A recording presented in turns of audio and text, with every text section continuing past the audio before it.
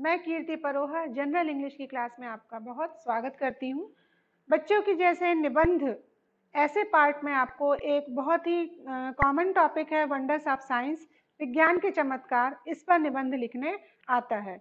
अक्सर ये एग्ज़ाम्स में आता है, चाहे वो बोर्ड एग्ज़ाम्स हो, या फिर वो नॉन बोर्ड एग्ज़ाम्स तो इसके लिए मैंने ये निबंध आपको बहुत सुविधा की दृष्टि से एक बुक से साभार ग्रहण किया है। और उसको आप बहुत अच्छे से समझेंगे, क्योंकि मुझे इसकी जो लैंग्वेज है वो बहुत अच्छी लगी आपके हिसाब से। तो चलिए बच्चों, शुरू करते हैं। वंडर्स ऑफ़ साइंस इसके टॉपिक कई टॉपिक में आ सकता है, जैसे wonders of science science in our daily life miracles of science science a blessing और curse science is a good servant but a bad master इस प्रकार से इसके तीन से चार टॉपिक अलग अलग टॉपिक में आ सकता है, लेकिन जो निबंध है, अब हम शुरू करने जा रहे हैं। किसी भी निबंध के इसमें सबसे पहले हमें प्रस्तावना या इंट्रोडक्शन देना ज़रूरी होता है और लास्ट फ़ेज़ में हमें उसका कंक्लूजन देना ज़रूरी होता है। ये निबंध कई शैलियों में लिखा जाता है, लेकिन हमने इसको पॉइंट वाइज करके रखा है ताकि आप बहुत अच्छे से समझ सकें और अच्छे से एग्ज़ाम में लिख सकें। चलिए बच्चे, शुरू करते हैं। सबसे पहला पैरा हमारा होता है इंट्रोडक्शन से। तो फ़र्स्ट पार्ट हो गया हमारा इंट्रोडक्शन क्योंकि आप जब निबंध शुरू कर रहे हो तो टॉपिक को कोरिलेट करके आपको लिखना रहता है. It is the age of science ये जो युग चल रहा है, वो किसका चल रहा है? विज्ञान का युग. Science has revolutionised our life विज्ञान ने हमारे जीवन में बहुत से परिवर्तन किए it has considerably change the world by wonderful discoveries and invention science ने यानी विज्ञान ने हमारे जीवन को, हमारी पूरी दुनिया को अपने खोज और आविष्कारों के दम पर बहुत सारे चेंज या परिवर्तन लाए हैं। It has made our daily life easy and comfortable हमारी दैनिक ज़िंदगी जो है, वो इसके कारण कैसी हो चुकी है? इजी यानी सरल और कंफर्टेबल यानी आरामदायक हो गई है। It has the development of our civilization जो नागरिक सभ्यता है, नागरिकता सभ्यता है, जो नागरिक नगर शहरों का बनना है, उस सब के विकास में इसने बहुत मदद की है। It has made many impossible things possible for us इसने बहुत सारे असंभव चीज़ों को हमारे लिए संभव कर दिखाया है। अगेन फिर से पढ़ेंगे बच्चे इसको। It is the age of science science has revolutionized our life it has considerably changed the world by wonderful discoveries and inventions. It has made our lives easy and comfortable. It has quickened the development of our civilization. It has made many impossible things possible for us. अब चलते हैं second para की तरफ़ तो second para क्या बोलता है scientific inventions अगर साइंस की बात करें तो इसमें साइंस के इसमें कौन कौन से इन्वेंशन है कौन कौन से आविष्कार हुए हैं? It is difficult to count the blessing of science it has made many invention and discoveries यहाँ कह रहे हैं कि ये बहुत कहना कठिन होगा कि हम साइंस के इतने सारे बात ब्लेसिंग्स की बात करें। इसने बहुत सारे खोजें और बहुत सारे आविष्कारों को किया है। Electricity is one of them जिसमें से बिजली इलेक्ट्रिसिटी की जो खोज है वो आविष्कार है वो एक है। It has become an essential necessity ये एक बहुत आवश्यक क्या हो गई है? हमारी ज़रूरत बन गई है। It works in many ways ये बहुत सारे चरणों में कार्य करती है। इट लाइट्स अवर हाउस ये हमारे घरों में रोशनी देती है। Cools and warms our rooms heater AC और इसके रूप इसके रूप में हम हमारे घरों के कमरों को क्या करती है? ठंडा और गर्म रखती है। Washes our clothes washing machine है तो हमारे कपड़ों को वॉश करती है and run many household appliances और बहुत सारे घरों के जो उपकरण हैं, उनको भी चलाने में मदद करती है। Again it run mills and factories ये बहुत बड़ी मिलों और फैक्ट्रीज को चलाने में मदद करती है। ट्रेन एंड ट्राम्स बड़े बड़े ट्रेन और ट्राम्स को चलाने में मदद करती है। It entertains us in cinemas restaurants television etcetera और सिनेमा में रेस्टोरेंट वगैरह में बिजली के सहयोग से ही हम वहाँ पर आनंद प्राप्त कर सकते हैं। It decorates the stages shops and malls ये कहाँ पर? बड़े बड़े स्टेजों में, सभागृहों में, दुकानों में और बड़े बड़े मॉल को भी क्या करती है? आकर्षक और सजावने में मदद करती है। मतलब इलेक्ट्रिसिटी जो है वो बहुत बड़ा इन्वेंशन है। इसके बाद तीसरा इन्वेंशन की अगर हम बात करें तो computers computers the invention of computers is one of the biggest help to man computer का जो आविष्कार है वो मनुष्य की सुविधा के लिए बहुत बड़ा है. They have the capacity to do extremely complicated work in all branches of learning शिक्षा की जितनी भी शाखाएँ हैं, उन सभी में इन्होंने इतना ज़्यादा योगदान दिया है कि हम बहुत ही ज़्यादा कॉम्प्लिकेटेड चीज़ों को भी समझ सकते हैं।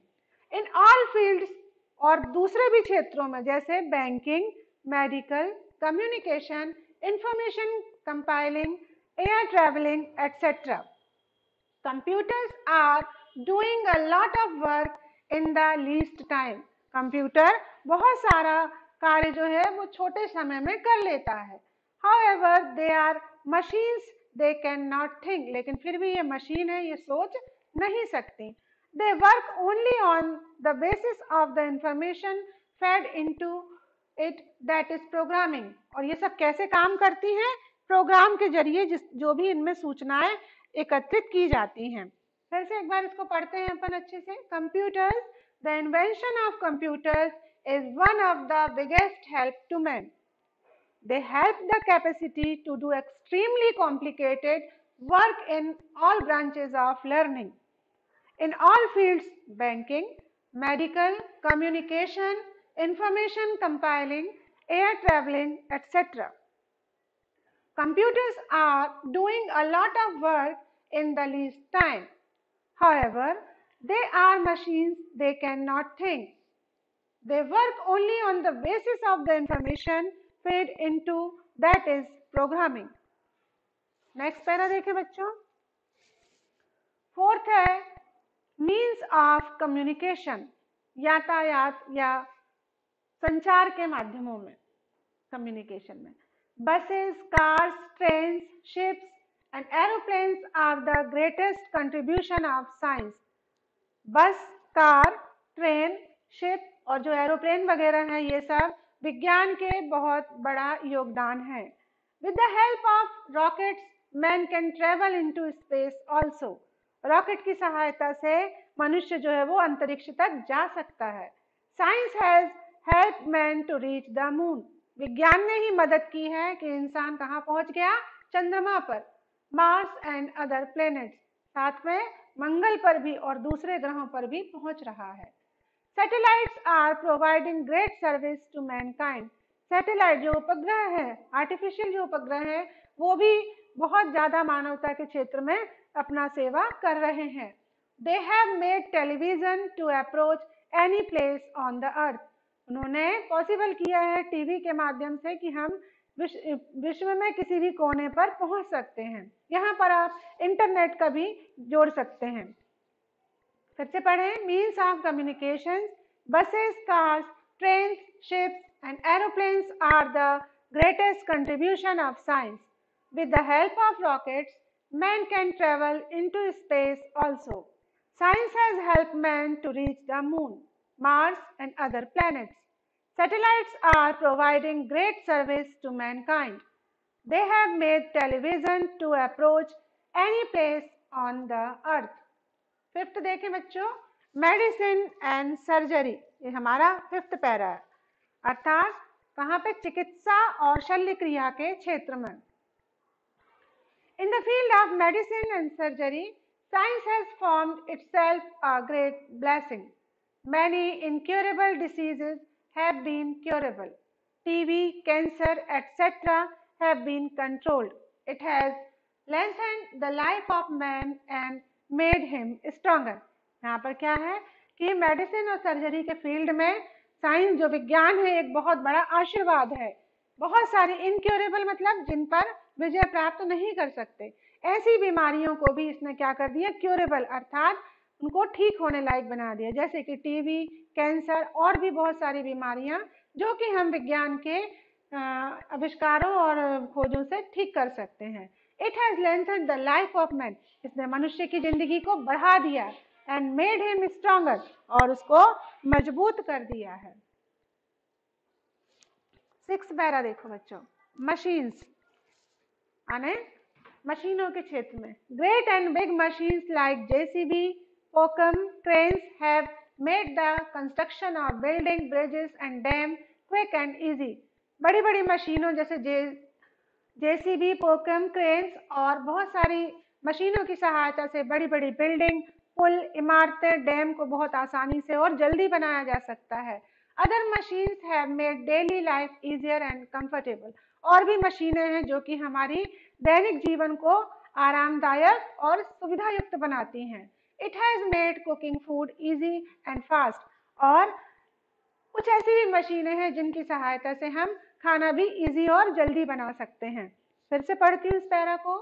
Machines great and big machines like JCB cranes have made construction of buildings bridges and dams quick and easy other machines have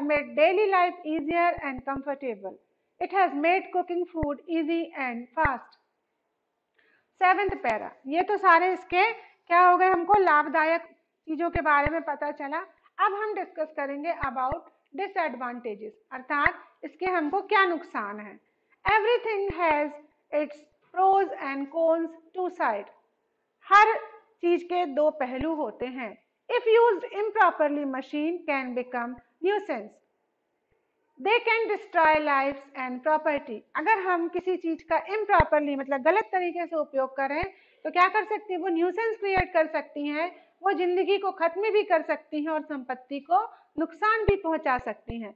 Atomic bomb can destroy the world in few seconds जो परमाणु बम है, वो कुछ ही seconds में पूरी दुनिया को नष्ट कर सकते हैं। Too much dependence on machines has made man lazy and weak मशीनों पर बहुत ज़्यादा निर्भरता के कारण मनुष्य कैसा हो गया है? आलसी और कमज़ोर हो गया है। Hence man should make use science wisely इसलिए मनुष्य को विज्ञान की चीज़ों का जो प्रयोग है वो कैसा करना चाहिए? बुद्धिमत्ता पूर्ण करना चाहिए। Science can be use for wars as well as peace विज्ञान को युद्ध के लिए यूज़ किया जा सकता है, लेकिन शांति के लिए भी हम विज्ञान का प्रयोग कर सकते हैं। अगेन इसको फिर से रीड करते हैं। Disadvantages everything has its pros and cons. Two sides. If used improperly, machines can become nuisance.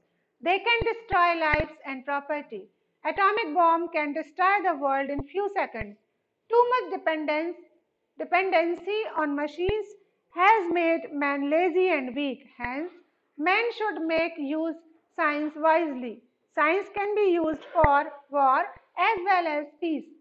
Last में बच्चों लास्ट पैरा आता है आपका एट नंबर का पैरा वो है कंक्लूजन या उपसंहार का ये हर ऐसे में हमको लिखना आवश्यक रहता है no doubt science has proved itself a great friend of mankind इसमें कोई संशय नहीं कि विज्ञान ने अपने आप को मानवता का सबसे अच्छा दोस्त साबित किया है। It serves us like a true and faithful servant साथ ही ये बहुत अच्छे दास के रूप में हमारे लिए रहा है।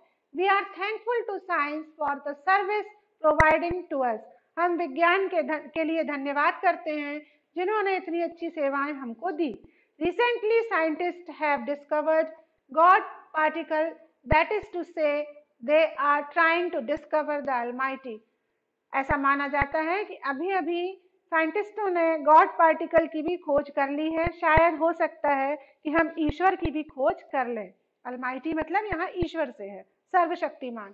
But science should make common man happy and not scare him लेकिन विज्ञान के कारण एक साधारण व्यक्ति को भी हमें खुश देखना चाहिए, ना कि उसे तंग करना चाहिए। एक बार फिर से अगेन रीड करती हूँ। Conclusion no doubt science has self a great friend of mankind true and faithful servant we are thankful to science for the services providing to us recently scientist have discovered God particle That is to say, they are trying to discover the Almighty. But science should make common man happy and not scare him. तो बच्चों ये था आपका ऐसे wonders of science एक बात ज़रूर ध्यान रखना है कि आप इसकी स्पेलिंग जो है बिल्कुल भी गलत नहीं होना चाहिए लिखते समय इसलिए इसकी कई बार लिख करके प्रैक्टिस करिए याद करने की